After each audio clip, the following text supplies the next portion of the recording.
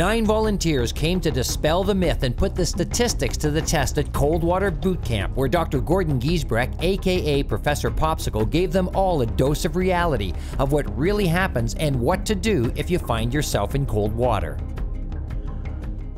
So the first thing that happens is gasping.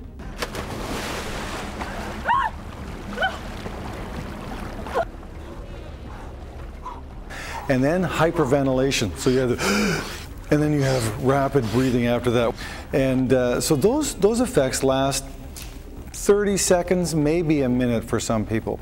But what's important is keep your head above water as much as you can because if you gasp when your head's underwater, you actually can inhale more than a liter of water in the first gasp. And, and if you do that, then you'll drown. Do not panic the psychological stress can actually feed the hyperventilation. So you just breathe uncontrollably, indefinitely. You can actually faint if you hyperventilate enough. And of course, if you're out there without a life jacket on, fainting means that you'll die.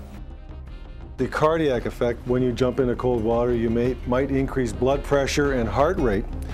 And uh, increasing the stress can cause cardiac arrest. This really only happens if in people who have underlying heart disease.